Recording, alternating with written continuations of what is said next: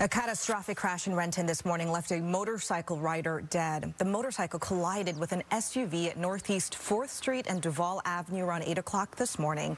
Police heard from witnesses who say the motorcycle rider was maneuvering around a slower vehicle when it skidded into the SUV. The rider was thrown through the air and into a traffic pole. The motorcyclist was ejected from the motorcycle, uh, traveled a considerable distance, probably about 20 feet, before impacting a smaller pole there, not the light stanchion you can see, but one of the like pedestrian traffic control posts there. A passerby attempted CPR, but the motorcycle rider was pronounced dead at the scene. Police want to hear from more witnesses. The driver of the SUV did remain at that scene and was not detained.